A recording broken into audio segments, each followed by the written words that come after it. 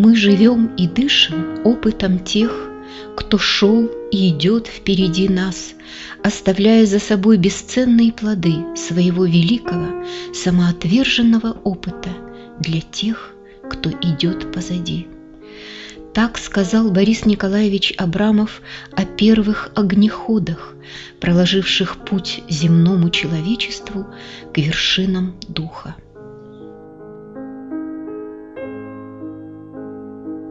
1934 год. Китайский город Харбин. Именно здесь, в крупном центре русского зарубежья, происходит важное событие, давшее импульс и направление многим будущим свершениям в России.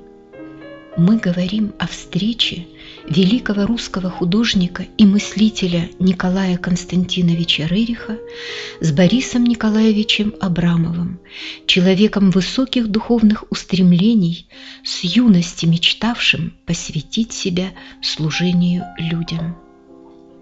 Рерих, приехавший в Харбин в составе возглавляемой им научной экспедиции, привлек к себе внимание многих. Около него складывается группа людей, ищущих духовных знаний. Одним из них был Борис Николаевич. Для членов этого содружества Николай Константинович становится духовным учителем. Он передает им знания об основах учения живой этики. Перед отъездом в Индию в знак особого доверия Николай Константинович вручает Абрамову кольцо ученичества. Вскоре после этого события Борис Николаевич вступает в переписку с Еленой Ивановной Рерих, которая признает его своим духовным сыном. Так начинается совершенно новый этап в жизни Бориса Николаевича Абрамова, жизни, которую в будущем назовут тропой необычности – до конца своих дней он ведет записи, высокий источник которых был неоднократно подтвержден Еленой Ивановной. Сейчас эти записи издаются и известны под названием «Грани Агни-йоги».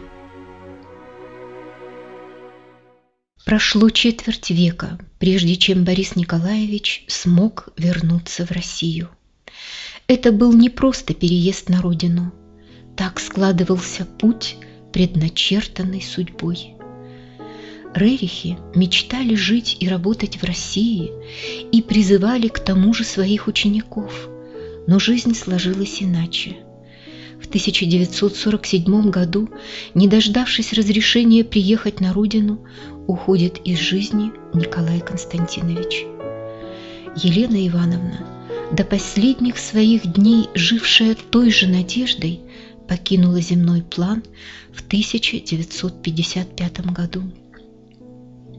Лишь в конце 50-х годов в Советском Союзе наступает оттепель, и в страну по приглашению Никиты Сергеевича Хрущева приезжает старший сын Рерихов Юрий Николаевич, крупнейший востоковед – за последние три года своей жизни он сделал невероятно много не только в области востоковедения.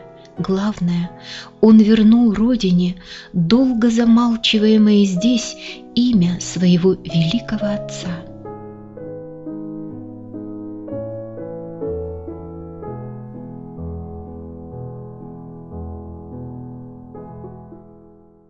1959 году из Харбина в Советский Союз, в город Новосибирск, приезжают Борис Николаевич Абрамов и его духовная ученица Наталья Дмитриевна Спирина. Их связывают два десятилетия совместной работы над изучением учения живой этики – еще в начале сороковых годов в Харбине у Бориса Николаевича образовалась небольшая группа учеников, в которую и вошла Наталья Дмитриевна. Из всей группы Абрамова только Наталья Дмитриевна, следуя указу Рерихов, вернулась со своим учителем на родину. Чудом они провезли через советскую границу запрещенные тогда книги учения – Впоследствии именно эти книги в фотокопиях и перепечатках широко разошлись по стране. Жизнь в Советском Союзе, конечно, отличалась от Харбинской.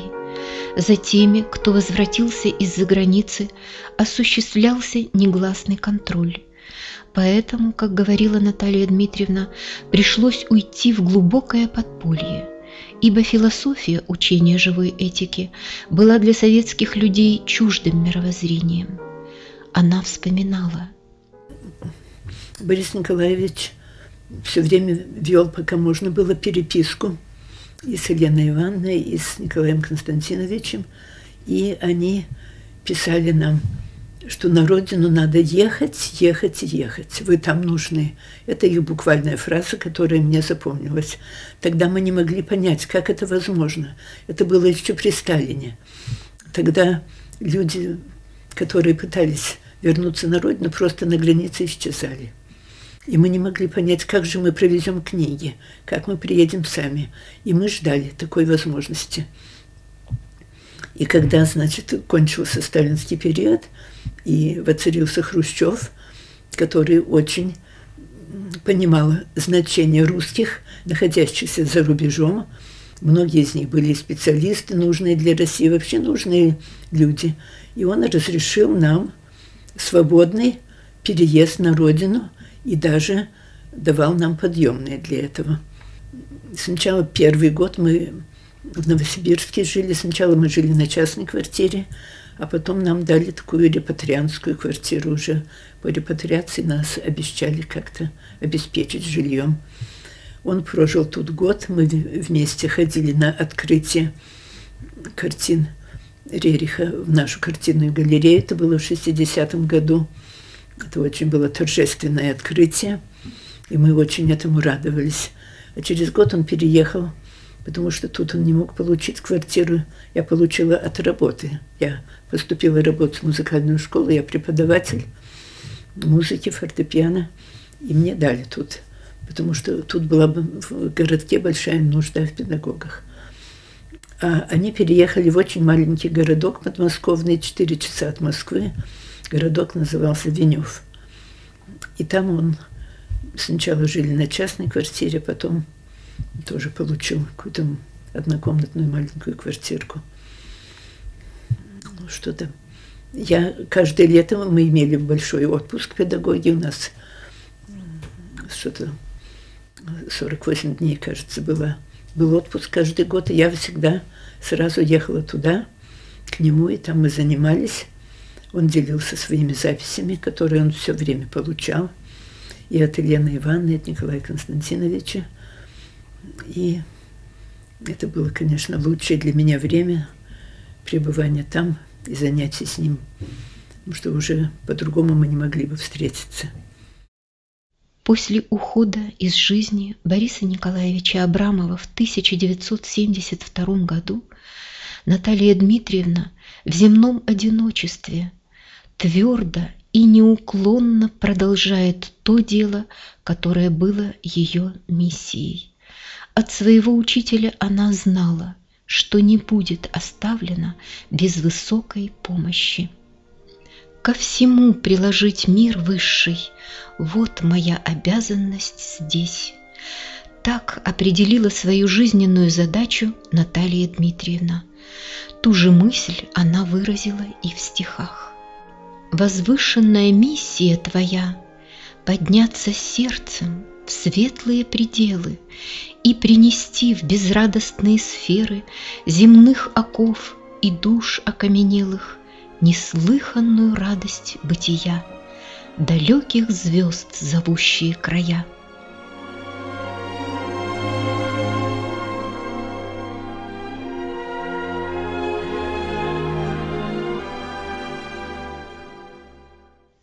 Преддверии столетнего юбилея Николая Константиновича Рериха после долгих лет затишья в Советском Союзе о художнике заговорили открыто.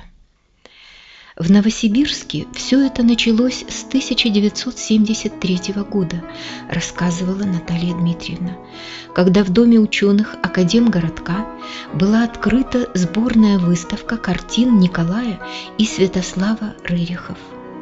Тогда выяснилось, что о них почти никто ничего не знал. Наталья Дмитриевна знала уже многое и о художниках, и об их картинах, о символике, и она начала проводить экскурсии. Следствием этих выставок стал необыкновенный всплеск интереса к творчеству Рерихов в Сибири, и роль Натальи Дмитриевны в этом переоценить просто невозможно. Она ведет также обширную переписку с участниками Рериховского движения в нашей стране и за рубежом. Крепкие сердечные нити соединяли ее со многими деятелями этого культурного фронта. Для развития и укрепления Рериховского движения в Сибири большое значение имело сотрудничество Натальи Дмитриевны с последователями и ближайшими помощниками Рерихов, вице-президентом музея Николая Рериха в Нью-Йорке Зинаидой Григорьевной Фоздик и биографом семьи Рерихов Павлом Федоровичем Беликовым. Наталья Дмитриевна совершает много поездок по Советскому Союзу, встречается с теми, кому близко и дорого творчество семьи Рерихов. Среди них председатель Рериховского общества Литвы Степан Викентьевич Стульгинский, художник Борис Алексеевич Смирнов-Русецкий и многие другие – а маленькая однокомнатная квартира Натальи Дмитриевны в Академгородке становится местом встреч единомышленников, приезжавших сюда из разных уголков страны. В 1974 году во время юбилейных торжеств в Москве Наталья Дмитриевна впервые встретилась со Святославом Николаевичем, младшим сыном Рерихов, жившим в Индии. С тех пор она не упускала ни одной возможности, чтобы приехать в Москву для встречи с ним. Святослав Николаевич высоко ценил деятельность Натальи Дмитриевны, поддерживал ее начинания, давал ответы на вопросы, касающиеся культурного развития Сибири. Ей навсегда запомнились слова Святослава Николаевича о том, что величайшее богатство России всегда составляла Сибирь, и что нужно думать о молодых, о воспитании тех, кто придет на смену старшим свои многочисленные доклады, выступления, слайд-программы она адресовала прежде всего тем, кто молод духом, кто готов к новому, непредубежденному взгляду на жизнь, в своих встречах и беседах с самой разной аудиторией она стремилась передать знания о великой силе культуры, единственного фактора, способного преобразить как жизнь отдельного человека, так и страну в целом. В 1976 году в Новосибирске впервые в Советском Союзе проводится Всесоюзная конференция «Рериховские чтения», Совместно с академиком Окладниковым и другими сибирскими учеными Наталья Дмитриевна стала одним из основателей этих общественно-научных конференций, которые проводятся и до настоящего времени. Рыриховское движение набирало силу. И в 1989 году на первой в нашей стране конференции, посвященной Елене Ивановне Рырих, Наталья Дмитриевна уже смогла сказать. Я не надеялась дожить до такого момента, когда открыто будет обсуждаться кладезь духовной мудрости, который доселе изучался индивидуально, без всякой огласки. Еще в Харбине Борис Николаевич и Наталья Дмитриевна мечтали о музее, посвященном творчеству Николая Рыриха. Их мысли и устремления в течение долгих десятилетий складывали возможности для осуществления этой мечты.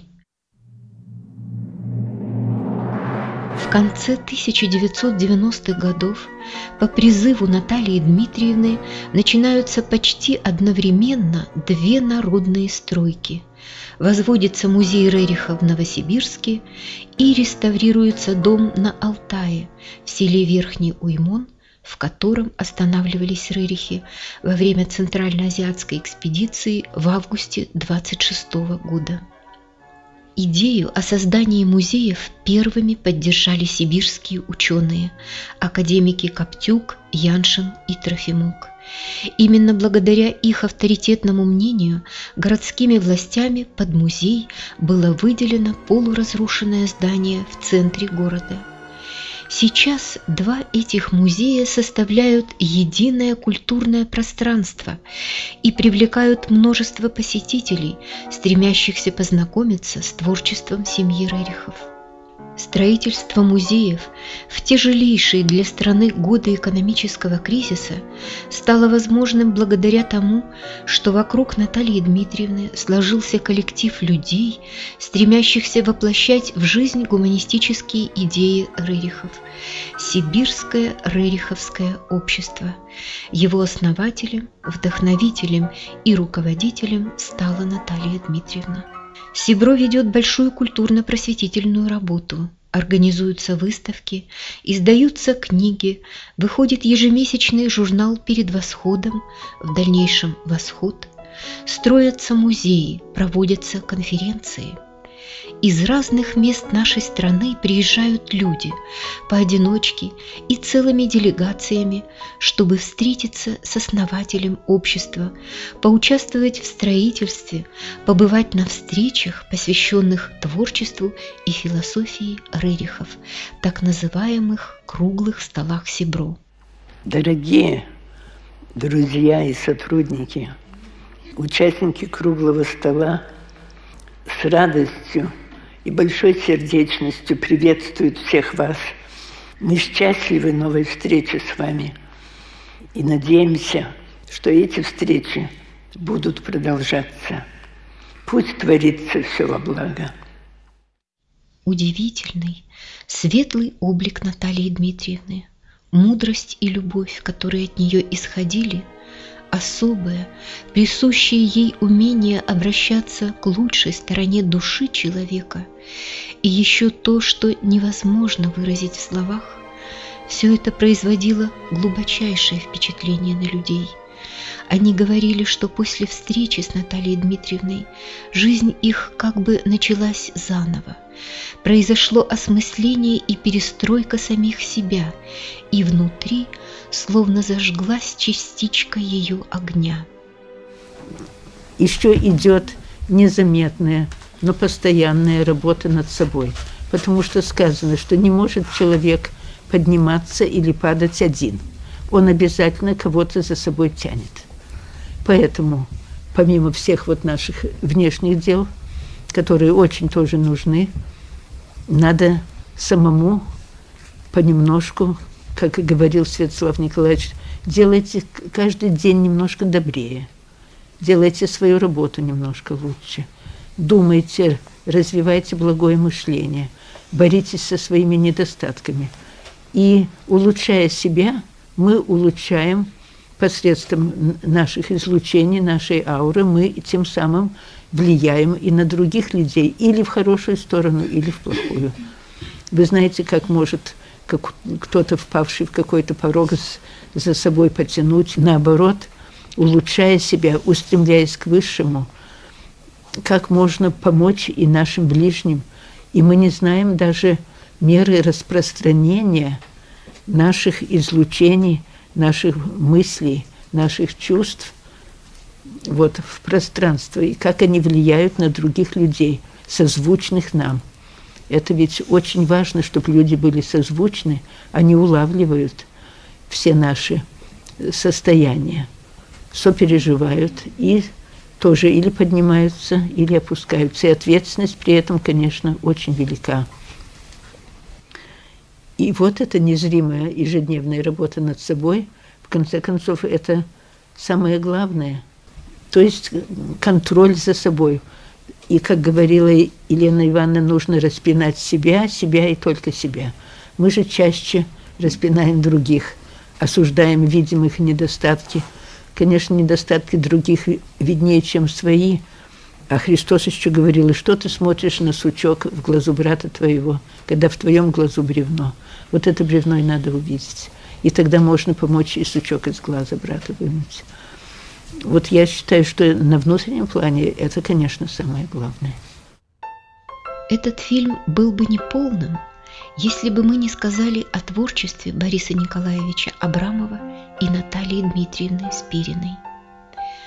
Борис Николаевич не только хорошо знал литературу, искусство и философию, но и сам писал стихи и рассказы, рисовал, сочинял музыку. Отдавая все свои силы ведению записей высоких собеседований, Борис Николаевич не имел возможности уделять время своему творчеству, тем более поражает высокое мастерство всего, что создано им. Его стихи, вокальные миниатюры и акварели проникнуты ощущением одухотворенности мира – Поднимая наше сознание над земной обыденностью, они устремляют в бесконечные обители красоты мира высшего. К Наталье Дмитриевне поэтическое вдохновение пришло с первой книгой учения.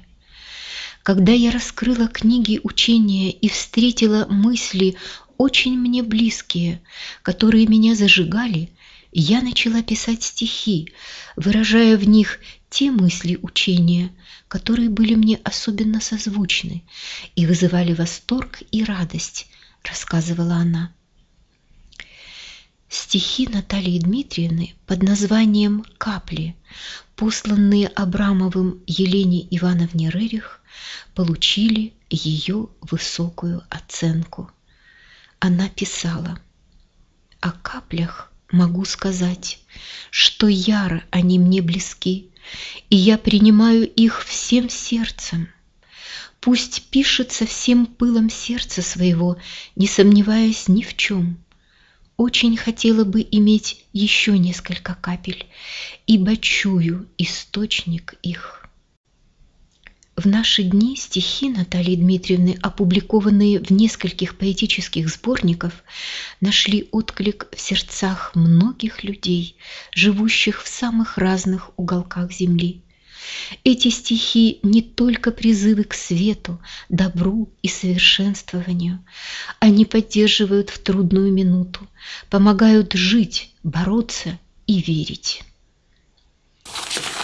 Все нам назначено, все наше – и наши дальние миры, вселенской красоты дары и знаний огненная чаша. Кто дерзновению своему границ не ставит, все тому, и светом путь его украшен. Победа света, как восход, неотвратима, непреложна. Пусть ночь глухая безнадежна, наступит час, она пройдет. Являясь ведущим и вдохновляющим началом всех дел и начинаний сибирского рыриховского общества, Наталья Дмитриевна всегда утверждала, что все возможности – и помощь к ней приходят только благодаря духовной преемственности от ее учителя Бориса Николаевича Абрамова, которому Рырихи завещали принести учение живой этики на родину. В записях Абрамова есть слова. Там, где кончаются дороги, исхоженные множеством ног, начинаются тропы необычности – Тропа необычности, пройденная Борисом Николаевичем и Натальей Дмитриевной, не прервалась. За ними первыми огнеходами пойдут те, кому суждено продолжать строительство нового мира.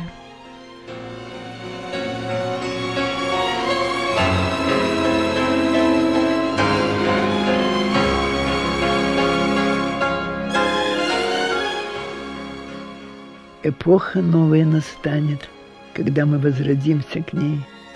Из праха прежних дней восстанет наш дух свободный от цепей, в которые он был закован, отринув продвижение сам, забыв основы и законы, ведущие в надземный храм. И в час, когда земные сферы с небес очистятся огнем, тогда к тебе, поверх барьеров, поверх себя, мы подойдем.